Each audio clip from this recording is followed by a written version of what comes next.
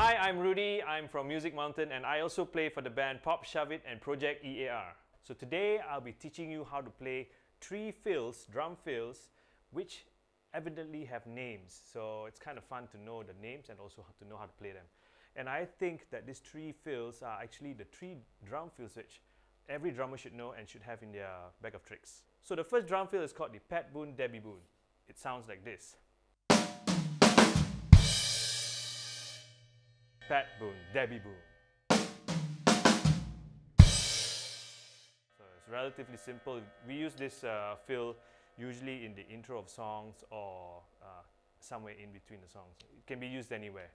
Now the second drum fill I'd like to show you is actually called the splat do or another name for it is called the splat boom. This is actually a very iconic fill.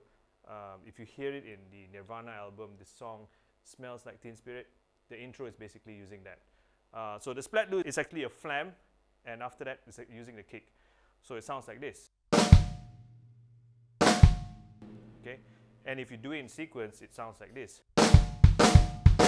Of course, I added another do, so sounds kind of weird, splat do do, but splat do, do splat do, do splat do, or splat boom, boom splat boom.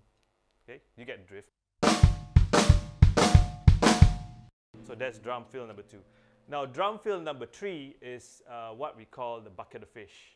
So the bucket of fish is evidently sounds like bucket of fish, bucket of fish. It can be used around any drums that you like, but I like to use it in this sequence, like this.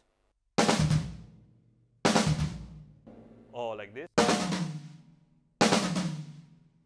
You can even include the snare in, at the end of it. If you combine all these three uh, fills together in a beat, right, it will sound like this. So I'm going to start off with the Pat Boone, Debbie Boone, and then the Splat Do or Splat Boom, and then end it with the Bucket of Fish. Let's see how it sounds like.